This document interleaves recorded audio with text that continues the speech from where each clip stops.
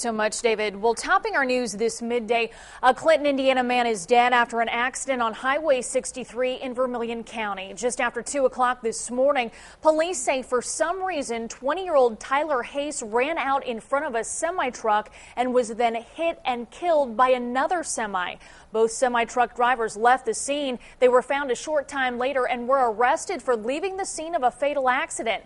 An investigation continues. News 10's Rondrell Moore is in Vermillion County this midday, and he'll have much more for us tonight on News 10 at 6, 5 Central.